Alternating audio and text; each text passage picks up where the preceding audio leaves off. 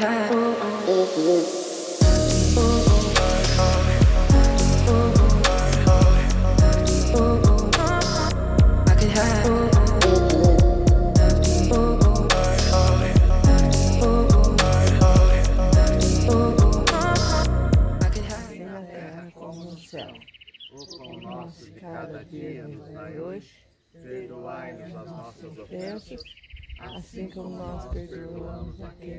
Tem ofendido.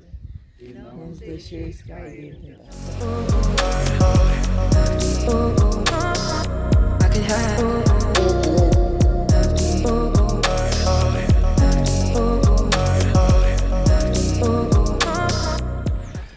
Bom dia todo mundo, agora 7 e 17 faz 5, 6 minutos nós saímos da pousada, andamos acho que 500, 600 metros.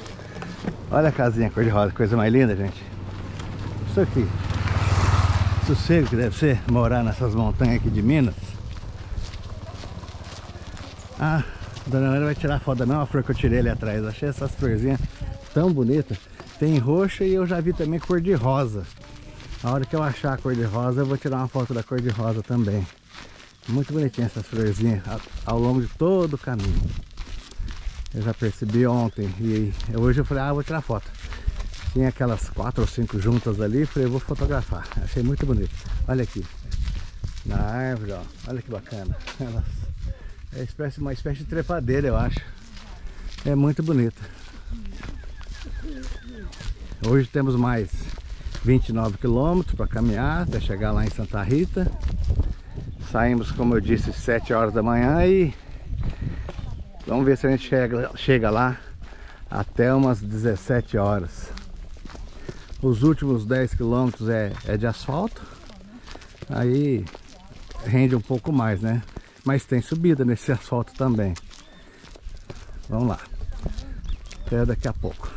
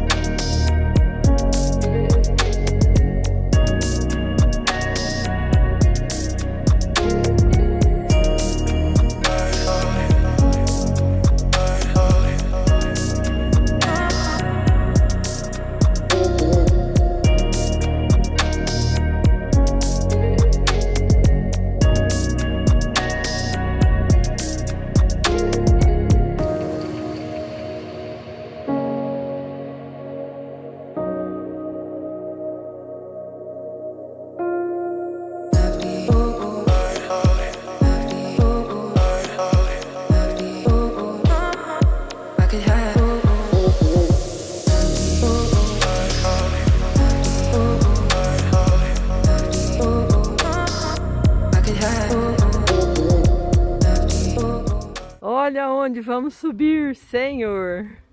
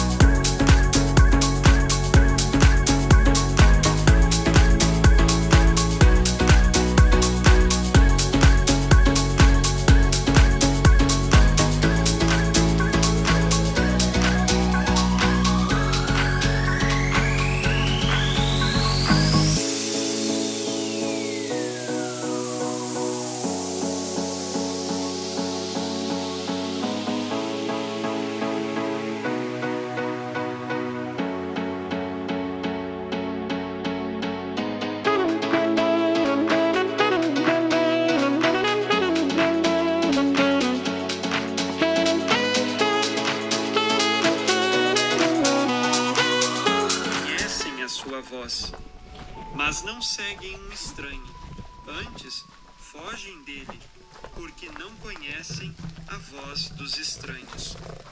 Jesus contou-lhes esta parábola, mas eles não entenderam o que ele queria dizer. Então Jesus continuou: Em verdade, em verdade vos digo, eu sou a porta das ovelhas. Todos aqueles que vieram antes de mim são ladrões e assaltantes, mas as ovelhas não os escutaram. Eu sou a porta. Quem entrar por mim será salvo. Entrará e sairá e encontrará pastagem. O ladrão só vem para roubar, matar e destruir. Eu vim para que tenham vida e a tenham em abundância. Palavra da salvação. Glória a vós, Senhor.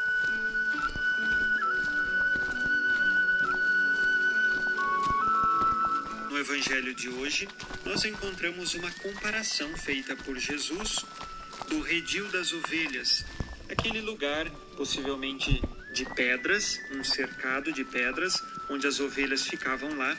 Havia uma única porta e ali um porteiro que cuidava de quem poderia entrar ou não para buscar as ovelhas. É interessante que o pastor ele possui com as ovelhas uma proximidade, assim como as ovelhas com o pastor. Elas, ao ouvirem a voz do pastor, começam a segui-lo. Eis dois verbos principais: ouvir e seguir. Nós ouvimos a voz de Jesus e precisamos segui-lo. O Evangelho ainda comunica que no versículo 6 Muitos não entenderam o que Jesus estava dizendo. Para entender esta comparação de Jesus, é preciso ter uma dimensão espiritual. Jesus não está falando exclusivamente de ovelhas e pastor no sentido rural, mas mais do que isto, Jesus está dizendo no sentido espiritual de que é Ele a voz segura que nos conduz para a meta, que é a vida eterna termina o evangelho de hoje dizendo: Jesus veio para que todos tenham vida e vida em abundância. É a vida eterna que nós buscamos. E a voz de Jesus é a certa a nos indicar a vida eterna. No mundo de hoje há muitas vozes, vozes de mentiras que não nos conduzem para a vida eterna. Saibamos nós discernir qual é a voz de Jesus, ele que é o nosso pastor e que nós saibamos entrar pela porta certa, que é a porta de Jesus. Lembrando também outro evangelho, esta porta é estreita, é difícil, não é fácil, mas vale a pena, porque é a voz da verdade que encontramos em Jesus, que é a porta de nossa salvação. Rezemos com você hoje, neste dia do Senhor, as orações que costumamos fazer pela sua. Olha que lugar lindo.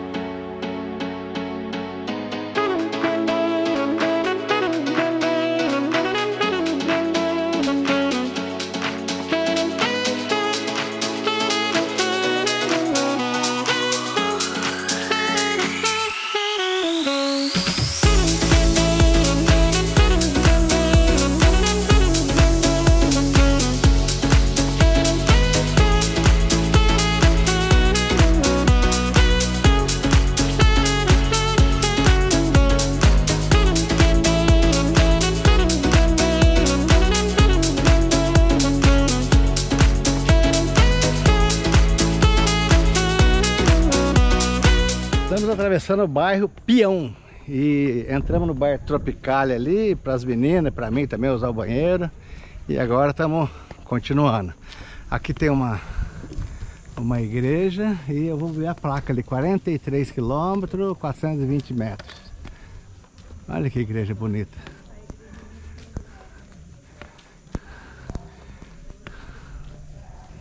Aí 43, 420, altitude 1065 metros. A natureza é perfeita. E vamos seguindo.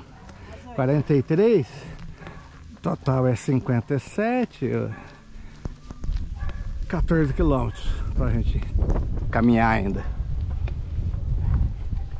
Valeu, até mais.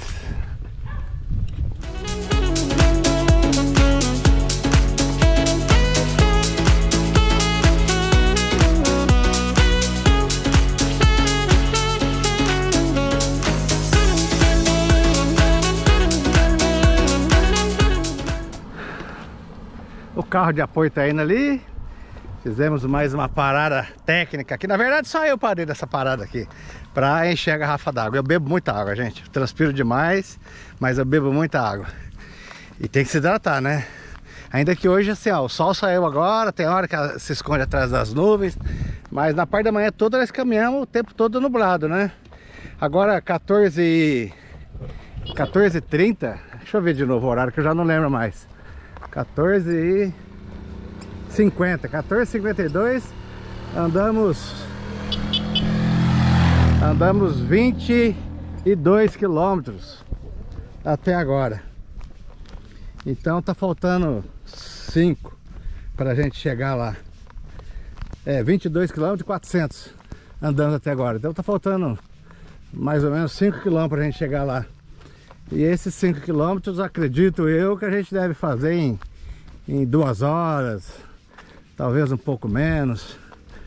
E chegando lá, vamos direto na, na igreja, né, no santuário lá.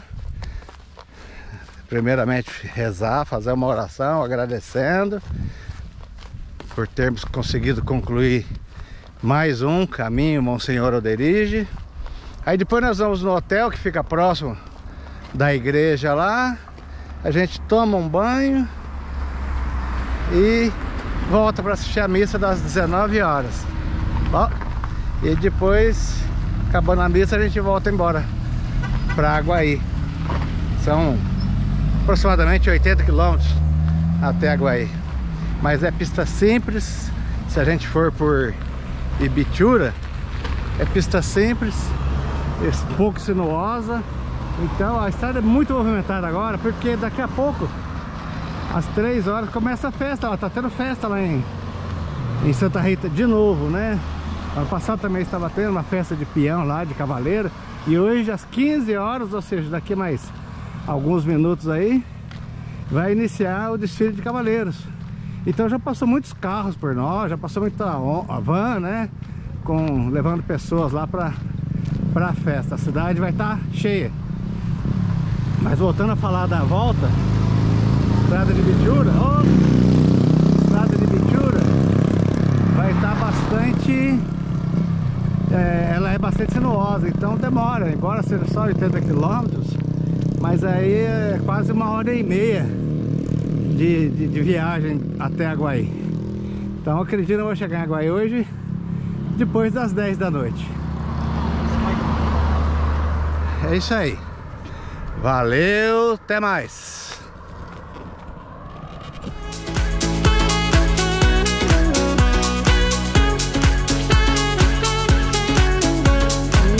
A gente já consegue enxergar o primeiro bairro da cidade. Eu ouvi o som da festa lá que tá tendo. E aqui é a capelinha de São Sebastião. Acho que nós estamos mais ou menos a 2,5 km, 3 km para chegar na cidade. E já dá para se ouvir o... Aliás, já tá para ouvir não, nós já estamos ouvindo esse som da cidade há 4 km atrás aí. É. Quando nós estávamos a 7, 8 km da cidade, já dava para ouvir o som da festa aí. E agora estamos bem mais perto. Passando da cabine, eu que barulho, a mulher parou pra ir no toalete. O somzão, falei, ó, o somzão. Podia ter alguma festa lá aqui, né? Podia ter alguma casa perto de onde a gente tá, ó. Ela ficou meio preocupada, mas, pode ficar sossegado aí, ó. Tô aqui perto, né? Ela terminou de fazer o que tinha que fazer, saímos e o som comendo. Eu falei, você uma coisa, som na cidade. Capaz mesmo? Como é que você sabe? Falei, Não é que eu como é que você, a altura do som. E a gente veio, Daqui dá pra ver o evento na festa lá. Eu vou mostrar pra vocês.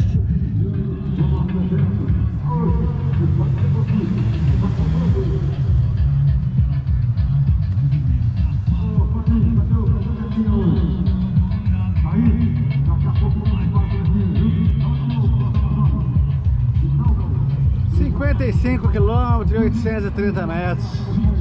Estamos quase, estamos quase. Lá na, lá na igreja, salvo engano, é 57 quilômetros.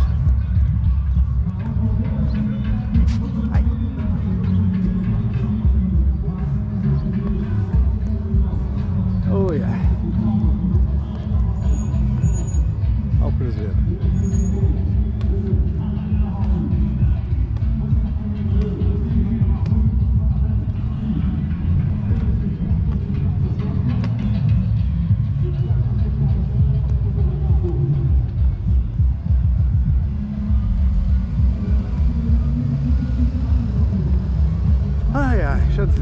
Agora tem que ir pra calçada aqui, porque carro estacionado dos dois lados, a rua é estreita. Valeu! Aqui é o local do evento.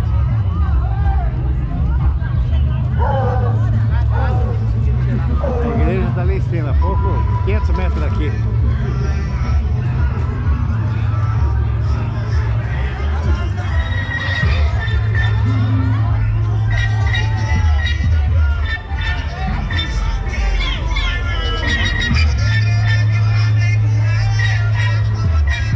Chegando, tem essa subidinha aqui. Daqui a pouco chegando lá na igreja eu gravo de novo. Eu vou desligar aqui, senão eu vou perder o fôlego.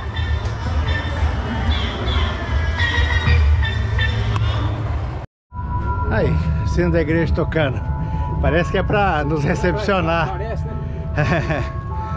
Dez- os últimos 10 metros aqui, gente. Essa subidinha aqui, essa rua aqui é, é forte, é puxada. Mas chegamos, graças a Deus. Depois de 58 quilômetros, dois dias de caminhada, chegamos na Basílica. Esperar as meninas que estão vindo aqui atrás. Não sei onde elas estão. Ah, estão lá na esquina de baixo. Ano passado nós viramos a. Passamos atrás da igreja e viramos à esquerda ali, né? Eu, Esse ano eu vou fazer diferente, eu vou entrar por aqui. Vou virar esse lado, essa rua já aqui. Esperar ela chegar aqui, a gente chega tudo junto lá na igreja. Menina chegando, o pessoal fica curioso, para, pergunta, estão conversando com elas ali, com certeza perguntando já, duas ou três pessoas já perguntaram pra mim, pro seu João aqui, de onde nós estamos vindo, de onde a gente é. Pessoal fica curioso, né, ver os, os peregrinos aí com, com mochila, com cajado, né? Vamos lá? Vamos acabar de chegar.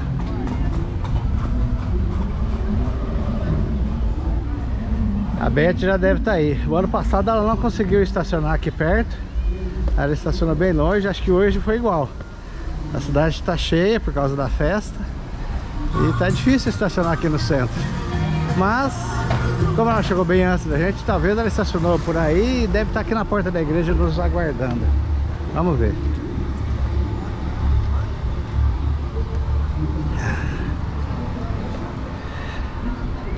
Só agradecer mesmo a Deus por ter permitido a gente concluir mais um caminho Monsenhor Alderige. Não é fácil não, gente. É muita fé, muita determinação, muita força de vontade. É, eu achava que a Beth estaria por aqui, mas não está. Deixa eu tirar o chapéu para a gente entrar na igreja e agradecer, né?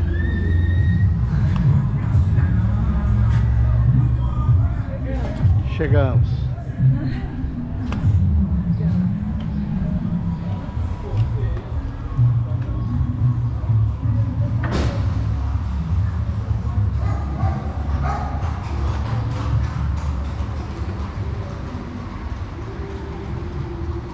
Irmã tá indo lá no final. A secretaria é aqui. Não, era? Não é mais? A irmã tá indo lá dentro. A secretaria era aqui o ano passado, agora não é mais, agora é a Capela do Santíssimo, parece.